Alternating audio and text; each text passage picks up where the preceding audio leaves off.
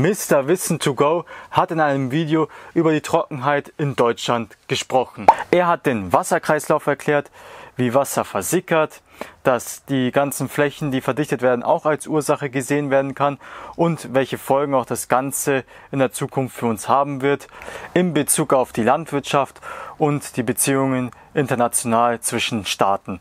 Ein paar Ansätze, was wir in Zukunft in Bezug zu Wasser tun sollen, hat er auch erwähnt und nach meiner Meinung nach etwas übertrieben auf die Angst geschürt, dass es in Zukunft Kriege ums Wasser geben wird.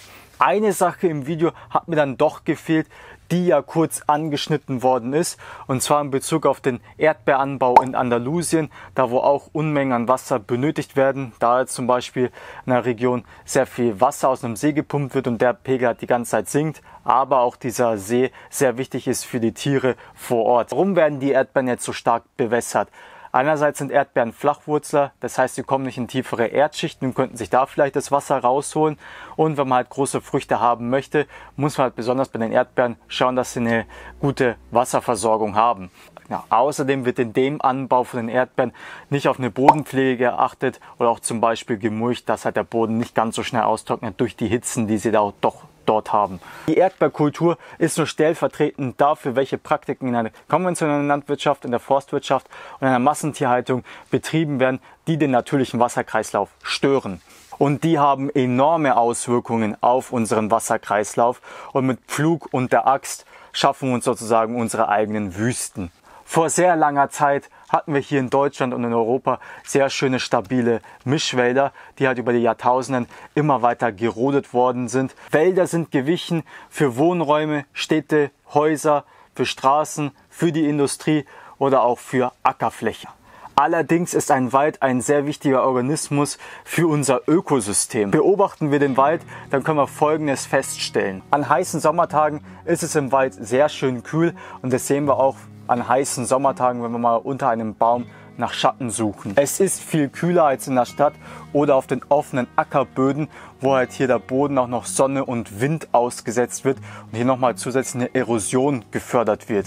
Das haben wir in einem guten Wald auch nicht, dass der Boden einfach offen ist. Dort ist er immer mit irgendwas bedeckt, meist mit irgendwelchen Pflanzen, Kräutern zum Beispiel oder auch mit dem Laub von den Bäumen. Dadurch entsteht eine bessere Bodenstruktur durch die Regenwürmer und Mikroben, die ja das organische Material umsetzen und ein guter Boden kann auch Wasser viel besser halten. Die offenen Böden hingegen trocknen schnell aus und werden auch hier staubig und da findest du sehr wenig bis gar keine Mikroben oder irgendwelche Bodenlebewesen wie zum Beispiel ein Regenwurm. Das starke Pflügen ist auch nicht förderlich für das Bodenleben und bringt auch hier sehr viel in der Bodenstruktur durcheinander. Mikroben in der unteren Schicht, die sich in der Finsternis wohlfühlen, werden hier nach oben gebracht und wenn sie dann oben an der Oberfläche sind, einfach offen, ohne irgendwelche Abdeckungen und die Sonne knallt drauf, dann trocknen sie auch aus. Die starken Verdichtungen sind auch kontraproduktiv, denn dadurch kann das Wasser in den Boden nicht mehr so schön absickern, sondern wenn halt hier starke Regenfälle dann kommen, was ja vermehrt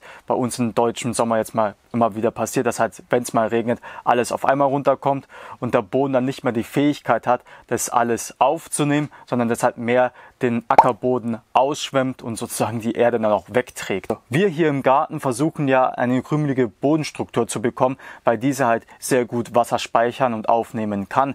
Das sieht man auch zum Beispiel, wenn man offene Böden hat und man nimmt dann eine Hacke in die Hand und versucht dann zum Beispiel diese Risse wieder wegzumachen, die halt dadurch entstehen, wenn halt der Boden lange Trockenzeiten ausgesetzt ist. Und man versucht halt dann hier wieder diese krümelige Struktur wieder hinzubekommen, weil dadurch auch das Wasser weniger verdunstet. Und jetzt hier bei mir in der Permakultur mulche ich ja auch sehr viel, damit der Boden bedeckt ist. Da verdunstet ja auch weniger. Und wenn es dann stark regnet, dann wird halt zuerst mein Mulchmaterial nass und der ganze Regen, der sickert halt langsam auf die Mulchschicht und kann dann hier diese Feuchtigkeit wird dann auch auf meinen Boden weitergegeben und der kann dann hier das langsam das Wasser aufnehmen, welches dann auch hier in die tieferen Schichten absickert. Zusätzlich arbeite ich noch Pflanzenkohle und Holzhack mit unten ein, weil die ja auch wieder ein bisschen Wasser speichern können. Also letztlich geht es bei dem ganzen Thema auch darum, dass man halt schaut, dass man eine gute Bodenstruktur wieder aufbaut und das Bodenleben mit solchen Maßnahmen fördert.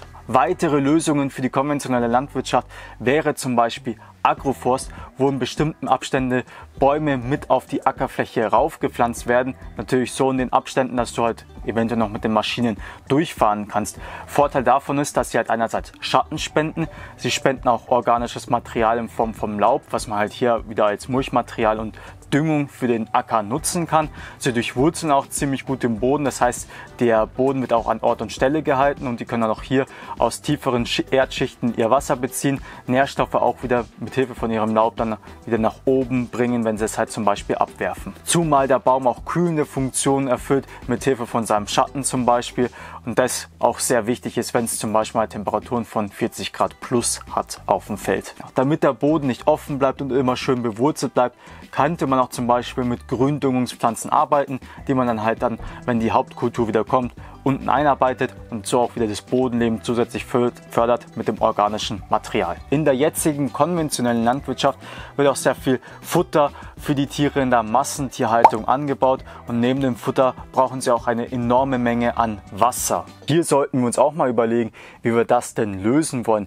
Jetzt würden vielleicht einige sagen, vegan, okay, wird aber trotzdem auch einige Menschen geben, die vielleicht nicht auf Fleisch und tierische Produkte verzichten wollen. Und da muss man vielleicht auch eine Lösung vielleicht für den Übergang finden.